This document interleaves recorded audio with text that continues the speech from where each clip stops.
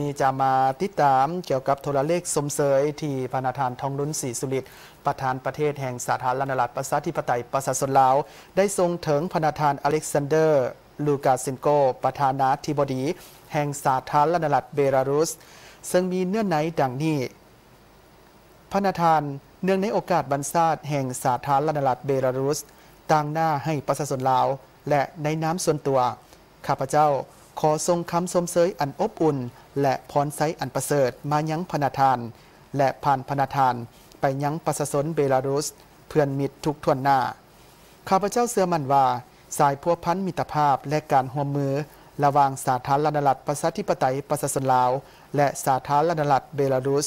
จะสืบต่อได้หับการเสริมขยายยิ่งยิ่งขึ้น เพื่อผลประโยชน์ของ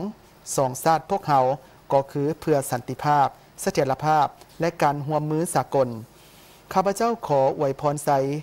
มายังพนาทาน จงมีสุขภาพเข้มแข็ง มีพลานามัยสมบูรณ์ และประสบผลสำเร็จในหน้าที่อันมีเกียรติของพนาทาน รวมทั้งขออวยพรให้ประชาชนเบลารุส เพื่อนมิตร จงสืบต่อมีสันติสุข และความเจริญหุ่งเหือง ในโอกาสนี้พนาธานเสริมไซกรมสิทธิ์รัฐมนตรีกระทรวงการต่างประเทศ แห่งสาธารณรัฐประชาธิปไตยประชาชนลาว ก็ได้ส่งโทรเลขสมเสยถึงพนาธานวลาดิเมียร์มาการัฐมนตรีกระทรวงการต่างประเทศเบลารุสเช่นกัน